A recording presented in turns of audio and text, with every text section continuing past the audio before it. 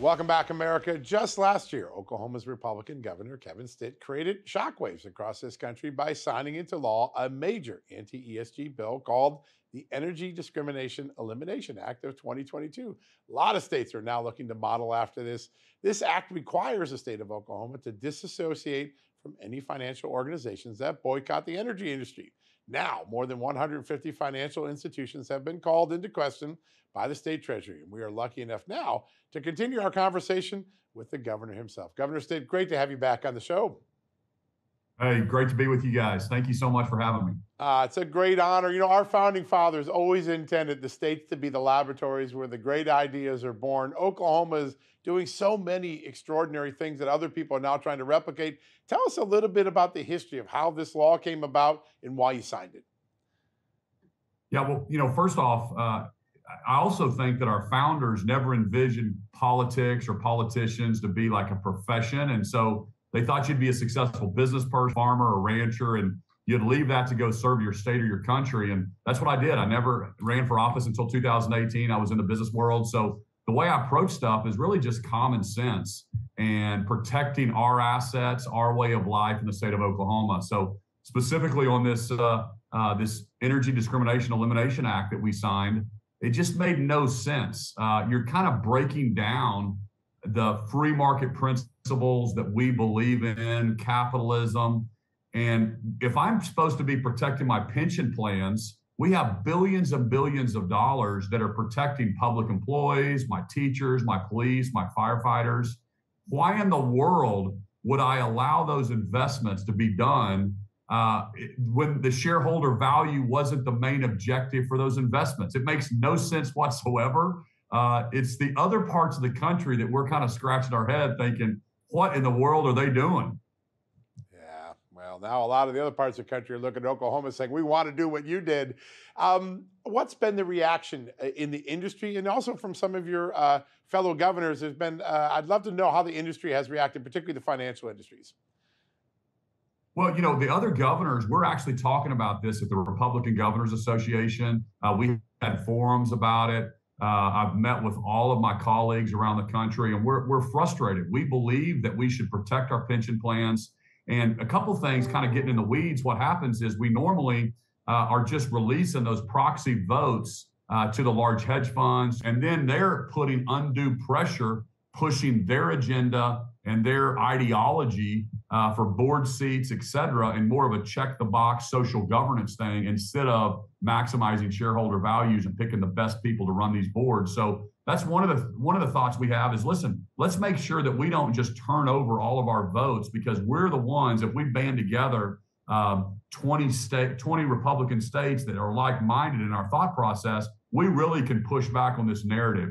Uh, and then if we also just stop investing in the BlackRocks and those companies that are are pushing those uh, you know weird ideologies uh, on the American public, we really can grab back a hold of this. And and and I also in our bill we said we're not going to do business as a state with companies that discriminate against our way of life. And for example, the oil and gas industry. Oklahoma has a great energy story. We're, we're, we're one of only four states that over 50% of our electricity is generated from renewables, but we have an honest conversation about it. And if you want to have a reliable, affordable energy grid, you have to talk about oil and natural gas. Uh, and we're not afraid of talking about wind either, but let's have an honest conversation that we need oil and natural gas for national security purposes for a reliable energy grid. Yeah, that's such an important point. I think those who have uh, jumped on the ESG bandwagon have uh, sold the American people a really false story that somehow we're going to flip a switch tomorrow and everyone's going to be on electric and fossil fuels and nuclear won't need to be had.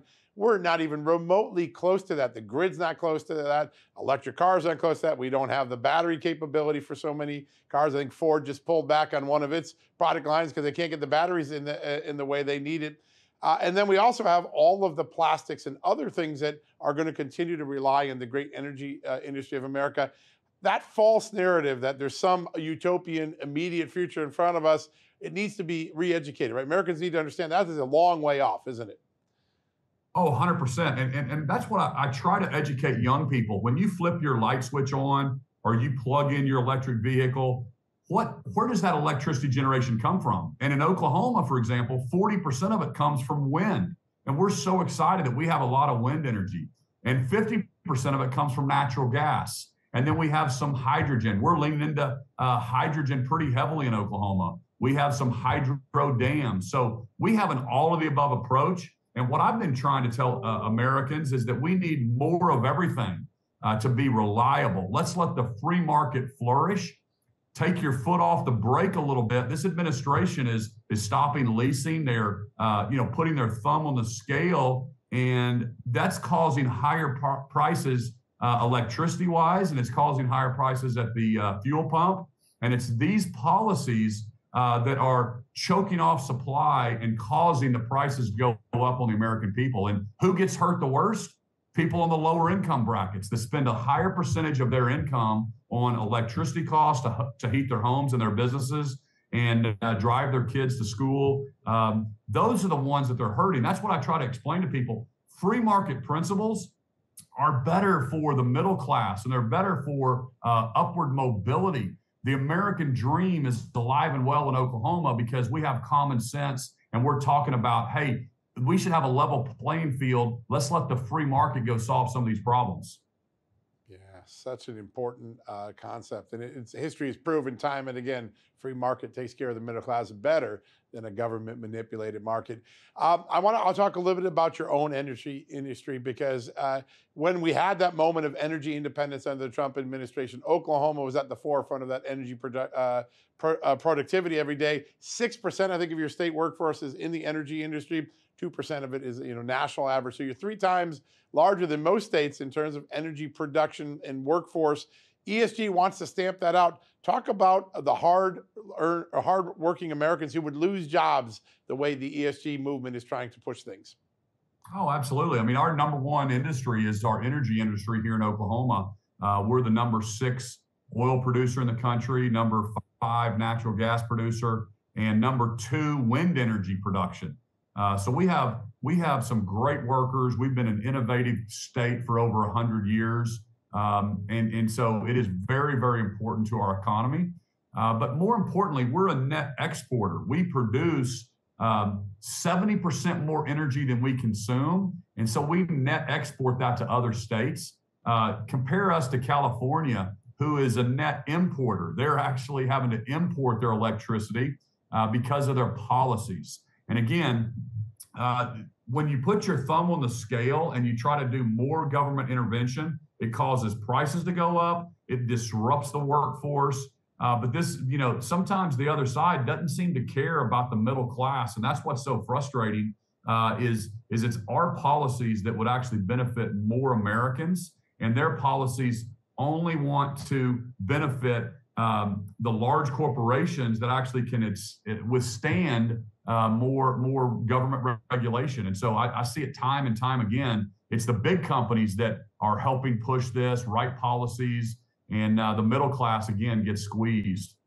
Yeah, such an amazing dynamic. And you mentioned California, which is the ESG utopia. Uh, double digit electrical rate increases for several years now, and occasionally rolling uh, brownouts and blackouts. Not the way most Americans want to spend their future life in America. Real quickly, Governor, we got about 45 seconds left. Other states have looked at uh, what Oklahoma's done. So I want to do that too. What's your best advice if they're heading down that track now? What's the best advice you could give them from the experience that you had in your great state? Yeah, well, I would say get with their legislature and get their state treasurers and all their pension plans because when you look at the amount of money that Oklahoma has 4 million people, we're the 28th largest state population wise, and we've got 10, 10 over 10 billion dollars in our pension fund. So when you add that up, it is a real amount of money that we can band together and create a coalition that pushes back on on the proxy voting, uh, not turning those over to some of those uh, uh, some of those um, you know huge investment houses. So that's one thing that we can do. Uh, but the state treasurers, the pension funds, really need to be educated on what's happening, and they're violating their fiduciary responsibility to protect the uh, the assets of our funds. And I think that's a that, that's just a, a very simple way that they can put all the people in the room and explain what's happening uh, all across uh, the country. And let's take back control of our money that we have a a duty to protect our citizens for. Power of the purse. It's always a, a very potent political force in, in America. Governor, I know so many people around this country are watching everything you're doing and applauding. Thanks so much for joining us today and giving us some good common sense and some good free market ideas. All right, folks, we're going to hit the commercial break real quickly, but when we come back, our next guest is one you won't want to miss. Uh, but before the commercial break, take a quick look at an informational message from our great sponsors and partners tonight, Heritage Action for America. Take a look at this. Hey, I'm Brian. My pronouns are he, his, him. I understand you're looking for a small business loan, but you're having troubles with your ESG score. I was denied. What's your business? I operate uh, drilling equipment, oil and gas. Uh-huh. The E in ESG is for environmental. You're in a dirty industry. So I can't get no loan? Well, let's take a look at your company's social policies. Tell me about your plan to create social justice. Social justice. Do your employees get paid time off for abortions? And tell me about your diversity, equity, and inclusion plan. Well, I ain't got none of that. I'm a driller. I just hire good people to do the work. Well, maybe there's one more thing we can check. Do you have any female co-owners? Uh, no, just me. Ooh, have you ever identified as a woman?